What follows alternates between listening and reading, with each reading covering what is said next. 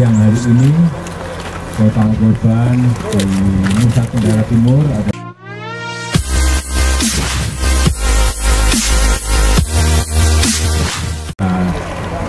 sama kakak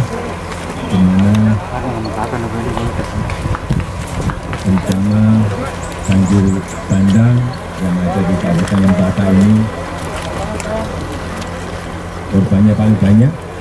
dan saya terima baru saja tadi sampai siang hari ini total korban di Nusa Tenggara Timur ada 163 yang meninggal dan masih dalam pencarian 40 ini yang akan terus kita usahakan agar yang uh, dalam pencarian tadi bisa ditemukan tetapi kalau kita lihat di lapangan memang